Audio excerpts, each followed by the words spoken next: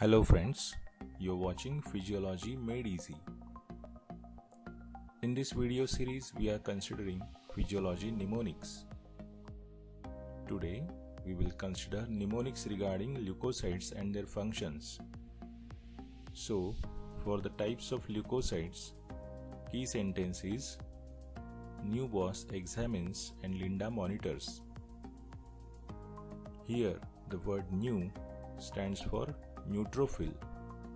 Next, boss, it stands for basophil.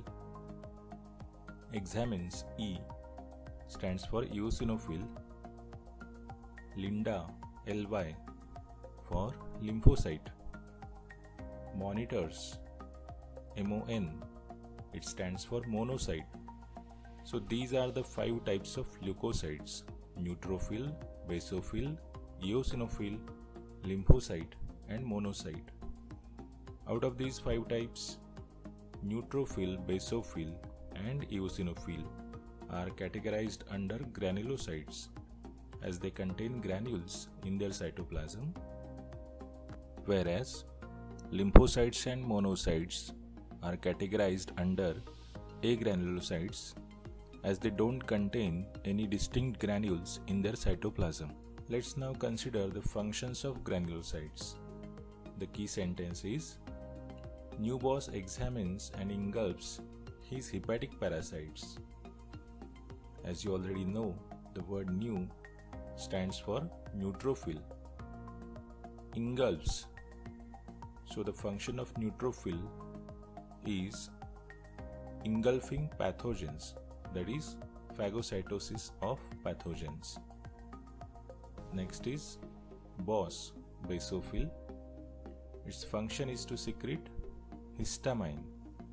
The word HIS here stands for histamine and HEP stands for heparin. It also secretes heparin. Lastly, E.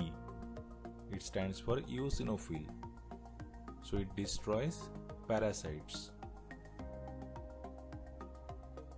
Let's now consider the functions of agranulocytes. The key sentence is Linda monitors both immature phases. Here LY stands for lymphocyte. Both immature. Both stands for cellular and humoral. Immature IWM. it stands for immunity. So lymphocytes are involved in cellular and humoral immunity via T and B lymphocytes. Next is monocyte. So monocyte they have the function of phagocytosis. Here the word PHA it stands for phagocytosis. Their function is to engulf the pathogens. I hope this helps you all. Thank you very much for watching this video.